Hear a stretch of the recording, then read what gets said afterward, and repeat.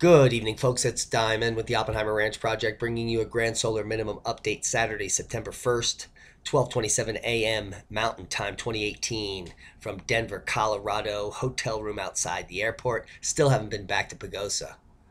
Fissure 8 is empty here on Kilauea, dry as a bone, and amazing footage straight into the hole. In fact, the eruption at Kilauea volcano is the least amount of activity since 2007. That's 11 years. This baby is over. It's over, Johnny. Now, I'm not raising my voice because I'm in a hotel room. so bear with me. Let's get on with the update. Hey guys, have you heard? September 1st marks the beginning of meteorological fall. Here's what's to expect according to the Weather Channel bison and snow. Yes, it's true. Look at that. It's amazing. That's not really what we're here for. There's a gusher. So, name storm frequency, September 1st, tropical storms, highest percentage. That's what we're looking at right now. Uh, but because of the coolness of the Atlantic, we're not expecting many tropical storms to develop. But this is the peak right here, and it's going to drop off from now. That's probably what she's saying.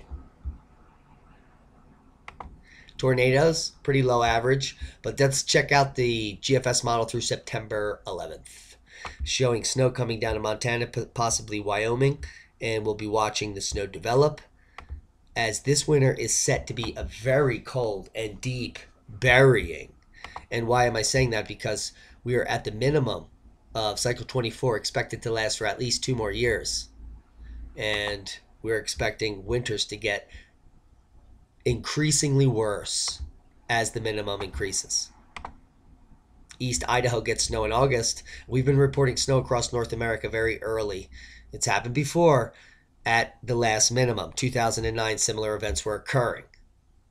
When was 2009, you ask? Mm-hmm. Back here at the minimum of 23 going into cycle 24. Boom. Speaking of booms, yes. There it is.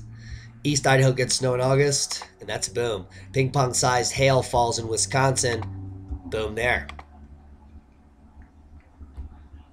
All the links down below.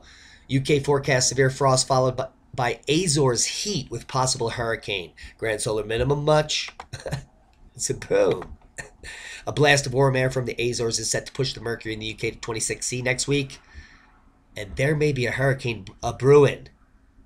We're talking a storm down to 943 millibars, which is equivalent to a Cat 4 off the shore of Ireland, the UK. And we warned of the heat up here in New England and the potential for a major storm to hit the Northeast. So that is still the potential Still on the table, Australia snow on the way this weekend. A strong cold front will cross the Alpine region on Friday, bringing a good amount of snow for those heading to the resorts, extending the ski season well into October.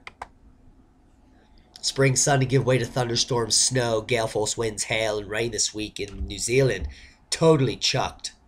Look at that guy. People should get out enjoy the first day of spring.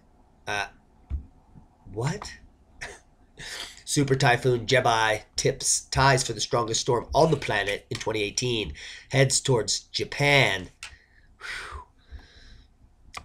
I don't have time. And I'm trying to be quiet. No quakes of note. We do have this Rumbler 4.4 in Iran.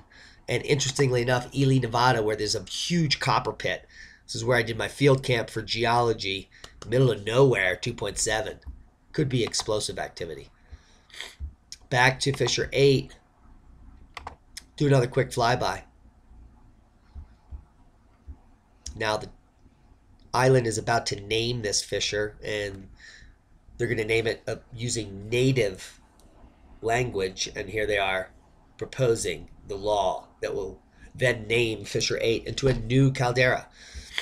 Who knows? Sorry about the sniffles.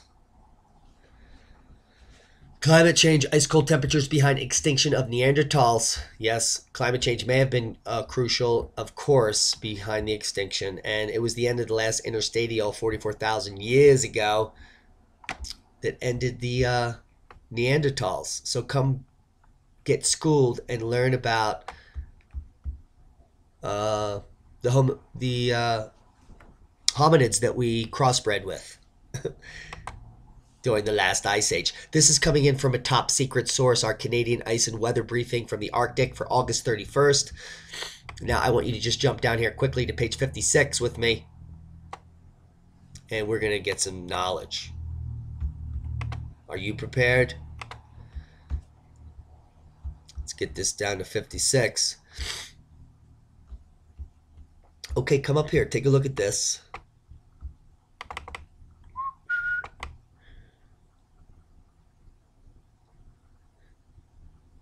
Where are we?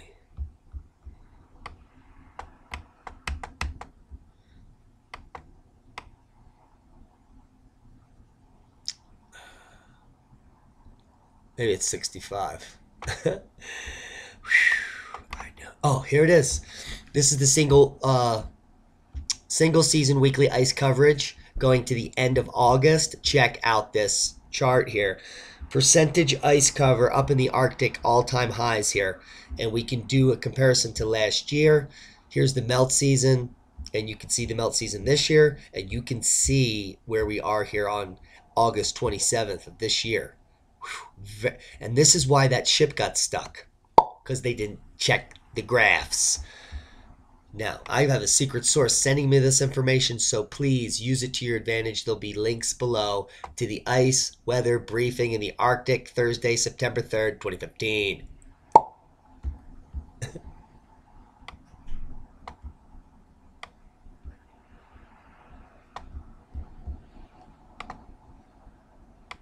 now, if you're not prepared, check out our new sponsor, My Patriot Supply, and use the link below to support the channel and to support your own preparedness. They have water filtration, air purification, survival essentials, and more. There's always a deal of the day, and it's totally insane. So if you get paid on Friday, just click the deal of the day and see what's going on here. We have fudge brownie mix. 20 bucks for 48 servings. That's something I would want to stockpile. 54% off and you support your preparedness and our channel. I don't know what could be more than a Rihanna boom. Code RED. Are you prepared? Be prepared.com. I don't even know what that is. But Oppenheimer Ranch is preparing and is hoping that you're preparing too, which is why we have a new sponsor with emergency survival food, My Patriot Supply. So anything you buy from here supports the channel as well as your preparedness and check out the Patriot Pantry. It has seeds and every type of food you have, all the way down to 10 cans. So, whatever you're interested in, this is basically the best value on the market. I did my homework, and you get the benefits. Times are changing, and it's time for you to prepare. See the purple? Here we are. Are you ready? We'll be back to normal tomorrow in Pagosa. I promise. Thanks for bearing with us.